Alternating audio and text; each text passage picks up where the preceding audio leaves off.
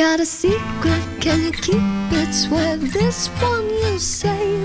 Better lock it in your pocket, taking this one to the grave.